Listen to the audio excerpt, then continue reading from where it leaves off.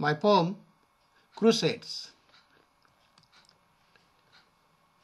Dedicated to a free world void of evangelical persecuted cross, but full of true Jesus, Yeshua's love.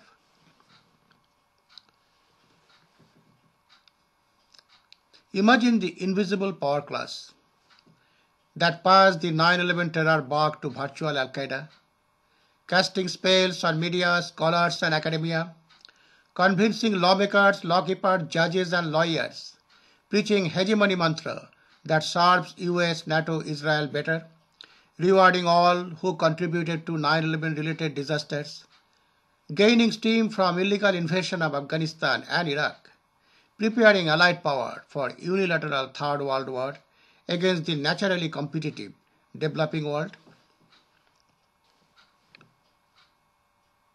reviving the zeal of medieval crusading adventures, following the pattern of the First and Second World Wars, uniting NATO countries against newly defined evildoers, restricting air travels to targeted regions as dangerous, melting economies sending market into chaos, forcing victims to take protective measures, silencing residents of ancient origin, injecting fear, piling them up in concentration camps for war on terror, enforcing faith-based media tactics of evangelicals. The monster will have it all for prophesied Armageddon. The spell this time would even be stronger, using weapons of mass destruction and pandemic virus.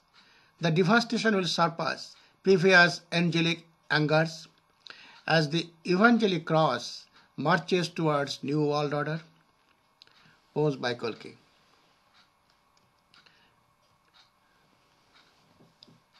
What are the reasons for all modern crusades since World War I? Quote, I contend that we are the first race in the world and that the more of the world we inhabit, the better it is for the human race. If there be a God, I think that what he would like me to do is paint as much of the map of Africa British red as possible. Unquote. British Zionist Cecil Rhodes, who advocated the British Empire re-annexing the United States of America and reforming itself into an imperial federation to bring about a hyperpower.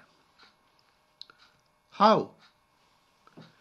To and for the establishment, promotion and development of a secret society the true aim and object whereof shall be for the extension of British rule throughout the world. The perfecting of a system of emigration from the United Kingdom and of colonization of British subjects of all lands where the means of livelihood are attainable by energy, labor and enterprise, and especially the occupation by British settlers of the entire continent of Africa.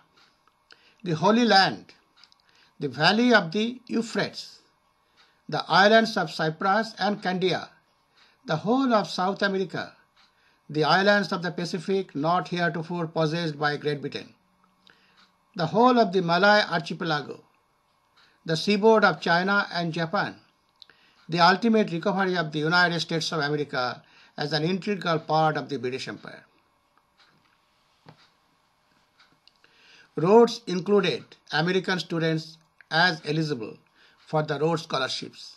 He said that he wanted to breed an American elite of philosopher kings who would have the United States rejoin the British Empire.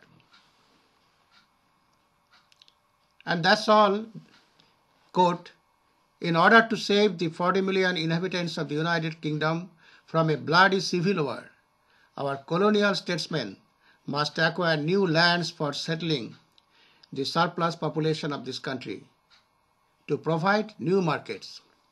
The empire, as I have always said, is a bread and butter question. Food for thought for all world citizens. Now, food for thought for all Christians around the world, all Yeshua loving Christians. Isn't cross a pagan graven image? anti-Christian, before God, part 10 commandments. God bless our world towards peaceful coexistence.